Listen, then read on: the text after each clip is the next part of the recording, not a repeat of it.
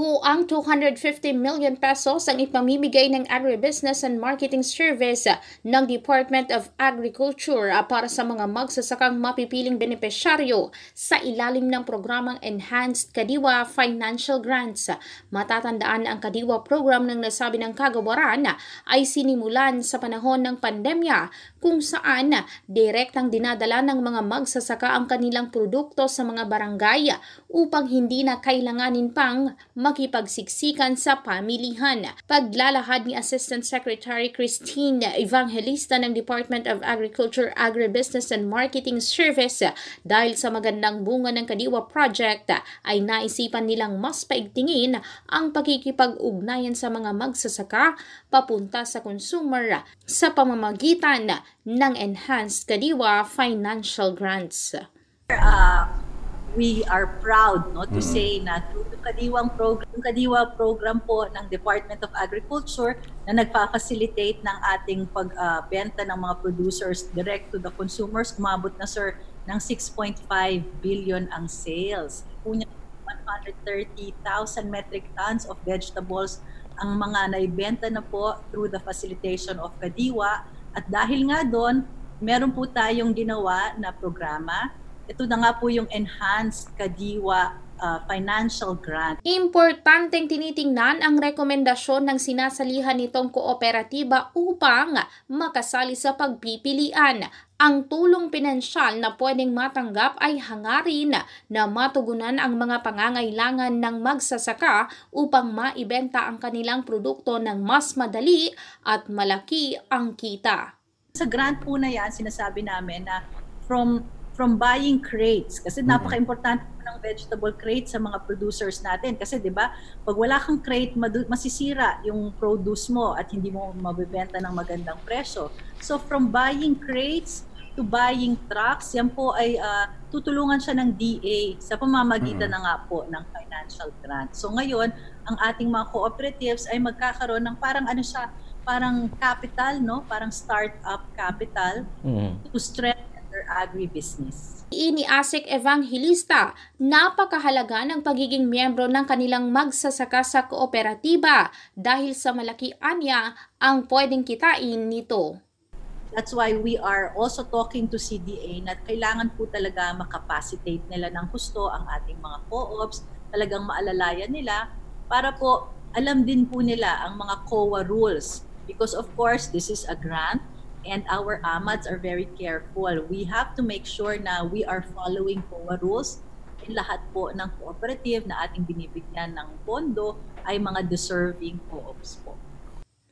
Wala pa naman sa ngayong napipiling kooperatiba na pagbibigyan ng programa ay pinag-aaralan na ng DA Agribusiness and Marketing Service na magkaroon ng Enhanced Kadiwa Financial Grant Second Phase. Ngunit magiging depende anya ito sa dami ng mga kooperatiba na magpapakita ng interes sa programa at kabilang na dito ang Bicol Region. The regions that uh, gave us the most number of interested co-op includes Region 5. Mm-hmm. Region mm-hmm. 5, nandyan din po ang CAR. Alam niyo naman po ang CAR, marami po tayong mga producers dyan, ano? And then, meron din po tayo sa Region 4. Mahigpit na monitoring ang isasagawa ng DA sa mapalad na mapipili at aalamin ang bawat paggagamitan ng financial grant para sa mga interesado sa nasabi ng programa ay makipag-ugnayan lamang sa DA Agribusiness and Marketing Service. Mm-hmm. Hopefully, we will be that by doing a weekly webinar It's uploaded naman po and this is mga step by step. Paano po mag-start ng agri-business.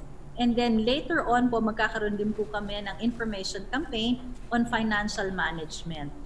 Hinikayat naman ni Evangelista ang mga individual na magsasaka na importanteng mapabilang ang mga ito sa kooperatiba upang makakuha ng mas malalim na kaalaman kung paano kumita sa pagsasaka. Maliban dito ay pinag-aaralan rin ang pakikipag-ugnayan sa mga malls at restaurant at mga pwede pang dalhan ng mga produktong agrikultura.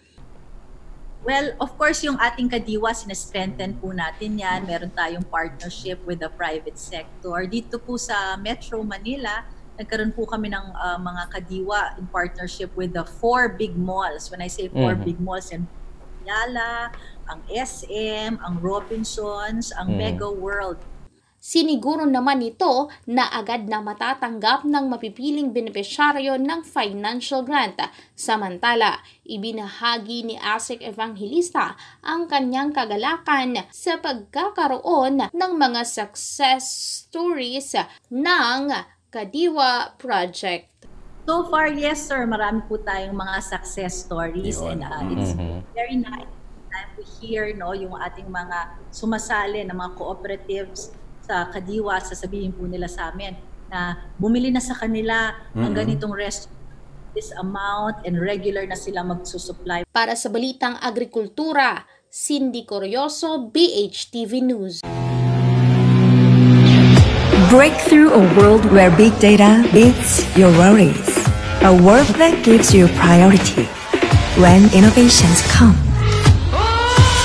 This is the GigaLife on Smart Signature. Simplified by the Philippines' fastest mobile data network. The choice is simple. Move up to Smart Signature and make your mark.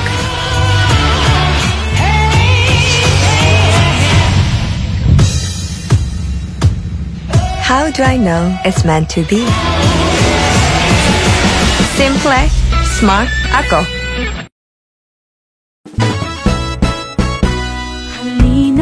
Kayo sa QQ Pacific Your neighborhood appliances store. Madaling puntahan, presong kay gaan Aming tuwa ang kayo'y paglingkuran QQ Pacific. Tara na sa QQ Pacific ang home appliance na mura at quality items gaya ng washing machine, refrigerator, aircon, TV, kitchenware, furniture at marami pang iba. QQ Pacific Matatagpuan sa Zone 3, Biak na Bato Street, Barangay Tabuco, Naga City. QQ Pacific